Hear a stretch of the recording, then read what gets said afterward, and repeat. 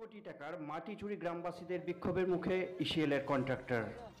আপনারা দেখছেন গুগলি এন্টারটেনমেন্টের গুগলি নিউজ, গুগলি এন্টারটেনমেন্ট চ্যানেলটি যদি এখনও পর্যন্ত সাবস্ক্রাইব করে না থাকেন, তাহলে এক্ষুনি সাবস্ক্রাইব করে নিন। আর এরকম আপগ্রেড নোটিফিকেশন নিউজ পেতে গেলে আপনার পাশের বেল আইকনের অল বটন ক্লিক করুন, যাতে করে আপগ্রেড নোটিফিকেশন আপনি প্রথম পেয়ে যান।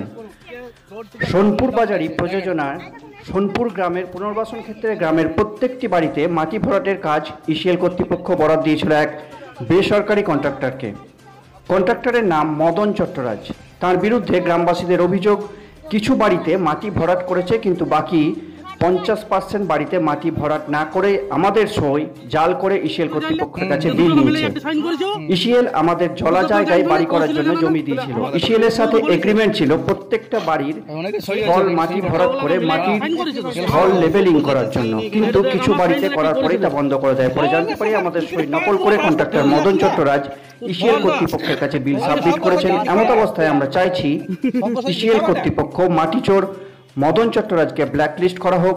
ব্ল্যাকলিস্ট না করলে আমরা বৃহত্তর আন্দোলনে সামিল হব বলে অভিযোগ। আপনার এই প্রবলেমটা ক্লিয়ার হয়ে যাবে। আপনি যদি চুরি করেন নাই বা কেউ যদি করে নাই বা যে ফলটা বলছে গ্রামের মানুষ যদি আপনার নামে মিথ্যা করে বলছে তাহলে আপনি প্রমাণ করুন।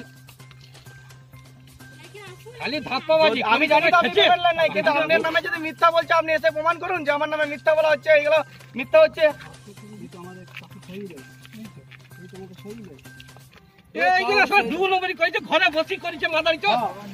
দেখেছি মাটি চোরও দেখি এই বালি চোর দেখেছি। আবার দেখছি এখন মাটি চোরও করছে। কে কি নাম মাটি চোরের? মাটি চোর চট্টরাজ মদন চট্টরাজ।